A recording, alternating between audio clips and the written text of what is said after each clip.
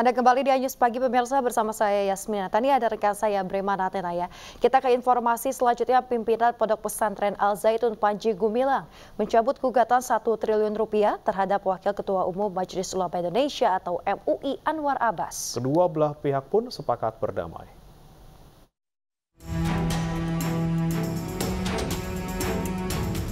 Pimpinan Pondok Pesantren Al Zaitun, Panji Gumilang, mencabut gugatan 1 triliun rupiah terhadap Wakil Ketua Umum Majelis Ulama Indonesia atau MUI, Anwar Abbas. Keputusan itu diambil setelah kedua belah pihak menggelar sidang mediasi keempat di Pengadilan Negeri Jakarta Pusat Rabu siang.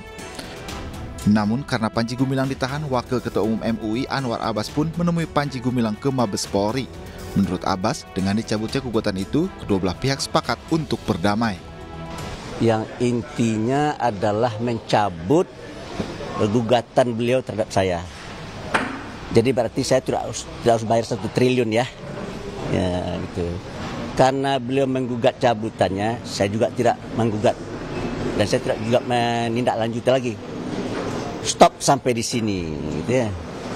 Enggak salah ada lagunya itu ya stop sampai di sini ya. Jadi intinya adalah uh, dengan dicabut itu maka kami akan saling bermaaf-maafan.